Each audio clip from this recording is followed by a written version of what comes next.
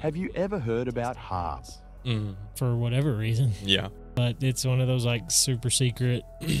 Everybody knows it's there, but they don't know what they're doing. Yeah. Top Isn't that like a defense thing? Like a defense. You would think. Mm. I don't know. HAARP stands for High Frequency Ooh. Active Auroral Research Program.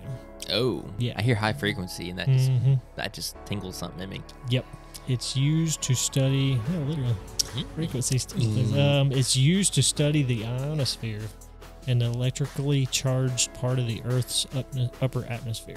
Um, and it's just a ray of antennas, antennas like on the ground that transmit radio waves up in the sky. That's But yeah, there's all kinds of different like things that it could cause or yeah. situations that have happened. I feel like I'm back to our frequency conversations. Like you start messing with that, it's like who Mhm. knows what can happen. Yeah, yeah. And when you're doing it in the atmosphere that covers the whole Earth, Yeah. what effects is that going to have? You know, Like, what are we doing here? I don't know. What are we doing here? I don't know. I want to. I need to see when like the first. Um, who was the first person to like talk about this stuff, like doing this stuff? It's got to be in like the 1800s or something. Trying. You talking about weather manipulation or chemtrails? Weather manipulation, Weather like talking about like controlling the weather. Yeah. It's, ca- it's, that can't be a new idea. No.